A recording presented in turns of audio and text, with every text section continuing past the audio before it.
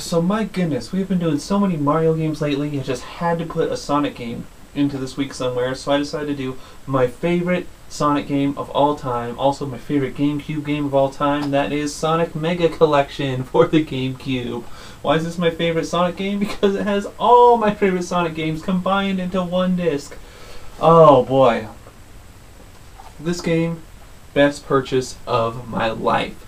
Seriously, to have all, have the entire Sonic Genesis collection all together on one simple GameCube disc is so wonderful and perfect.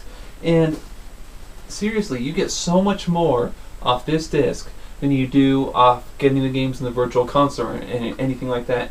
And yes, I know like a year after this was released, they brought it out on the Xbox and the PS2 and called it Sonic Mega Collection Plus, where they added six Game Gear games.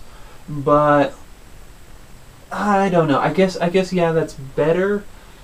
But I kind of feel like that sort of soils it because the Game Gear games aren't as good as the Genesis games. So that, that's just me. This GameCube one uses the GameCube control. Possibly my favorite control of all time. The GameCube controls are so good, so comfortable. The buttons are so responsive. The joystick works great. The D-pad works okay. I mean, this Sonic game can be played with the joystick just fine. D-pad too, if you prefer the D-pad. But what's so great about this, like I keep showing, it's got the the seven Sonic games for the Genesis. Then there's the unlockable ones.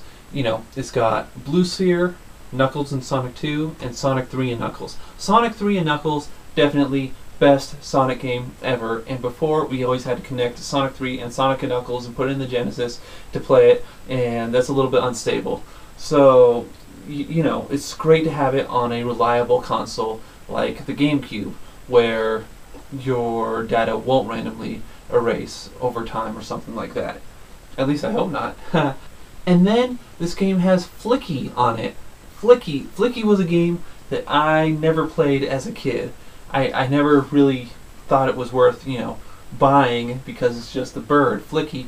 But they included in this because Flicky is now a Sonic character, and it's a fun game. It's a way fun game. I think Flicky is one of the ones I played the most on this. And then they also throw on Ristar on here, which Ristar is, you know, it's an okay game.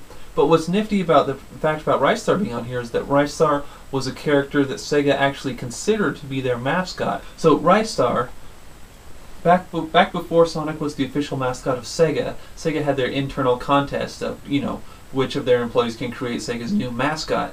And as we know, uh, Naoto Oshima and Yuji Naka submitted Sonic, whereas somebody else had submitted Ristar and they considered Ristar to be the mascot, but ended up going with Sonic in the end. So it's cool that the game Ristar is on here, because he kind of has that connection to Sonic in the end. So we got Flicky, we got Ristar, then we got all the other Sonic games. We got Dr. Robotnik's Mean Bean Machine on here.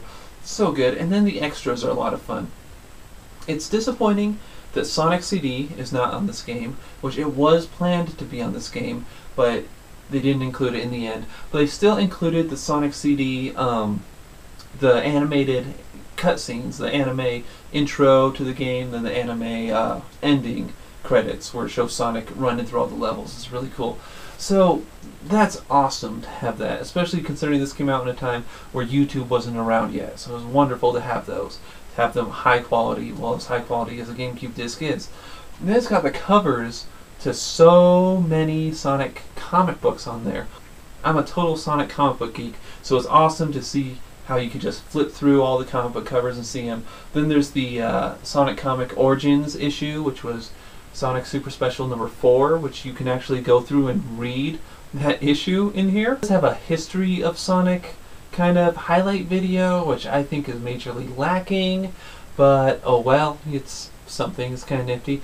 Back to the comic books, one thing I think is funny is how a lot of the characters that are not owned by Sega or Archie are blacked out on the covers. Like there's that one super special where they cross over with Image Comics. You know, Spawn, Savage Dragon, the Maxx, all those guys. All those guys are just sort of blacked out, which is that, that's that's funny. And then um, the other one was Sonic Issue Eight, where Sonic is running Uh, it says he leaves all the other comics in the dust. There's a cloud of dust behind him, and you see all these superheroes coming out. Like you see Captain America's shield, Wolverine's hand with claws. You see Ghost Rider's head, and all those characters are blacked out on here also. So that's really funny. So it has most all the covers to every issue of the comic book up until 2002 when this came out. So it's over hundred issues, I believe. Um, all the Knuckles comic books, all the miniseries, all the special issues. You can see all their covers, but then there was also the Knuckles miniseries, which they did not include on here.